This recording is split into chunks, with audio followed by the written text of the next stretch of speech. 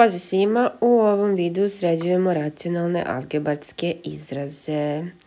Dakle, pokušavamo da rastavimo što više na činioce, da vidimo da li nešto može da se skrati ili ne. I usput, dakle, sve sređujemo. x na treći minus y na treći. Dakle, mi znamo da je to e, razlika kubova, ali ja ću za sada to ostaviti ovako, ili možemo i da rastavimo, možemo i da ostavimo, s obzirom da je ovdje plus, ne znam šta ću dole dobiti, da li će moći da se skrati ili ne. Ali ajde, možemo i da rastavimo sve jedno. Dakle, to je x minus y, pa puta, dakle prvi na kvadrat, plus prvi puta drugi i plus drugi na kvadrat. Ovdje dole, ako pokušamo grupisanjem ovo da rešimo, mm, neće imati smisla, tako da ću raditi ovaj kvadrat binoma. 3x e, pa na kvadrat, to je 9x na kvadrat, dvostruki prvi puta drugi, dakle plus 2 puta 3x puta y, to je 6xy i plus drugi na kvadrat, što je u stvari y na kvadrat. Ovo ćemo sad samo prepisati. Tako, dobro je. Pa imamo plus. Za ovo dole vidimo da je to deo. Dakle, ovo je bila razlika, ovo bi bio zbir kubova, pa ću ga samo prepisati, nek ostane tako.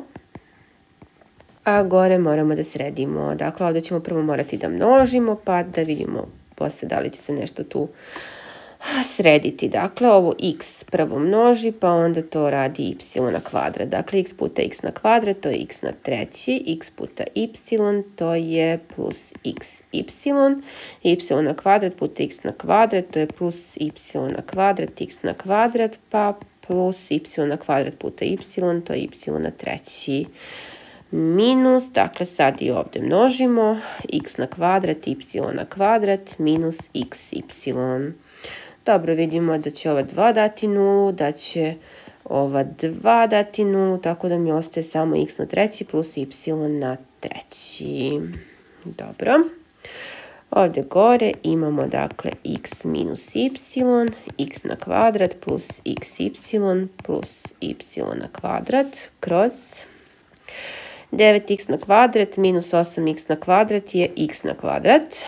6xy minus 5xy je plus xy i ostaje mi plus y na kvadrat. I već vidimo da ovo i ovo skroz mogu da skratim. Dakle, ovdje ostaje 1 i ovdje ostaje 1.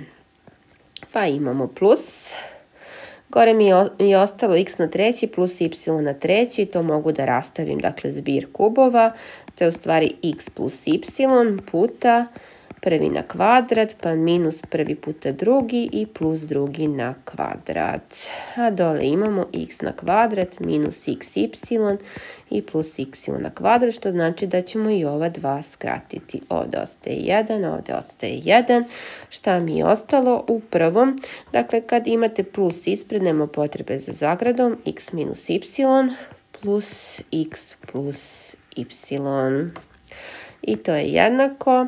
Dakle, minus y plus y se skrati, a x plus x je 2x. I ovo je naš konačni rezultat. To je to što se tiče ovog videa. Pozdrav!